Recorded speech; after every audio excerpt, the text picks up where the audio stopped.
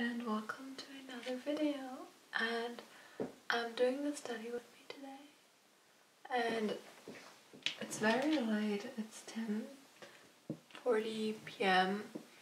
and I'm gonna make a late night study session. This video is not going to be that long because my battery always dies very soon. I still hope you'll enjoy this video and yeah let's study together. I'm super tired and i don't really know how i should like do this study session.